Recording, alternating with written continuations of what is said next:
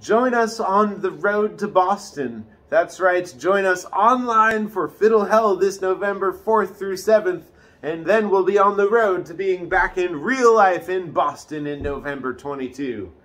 The road to Boston. One, two, three, four.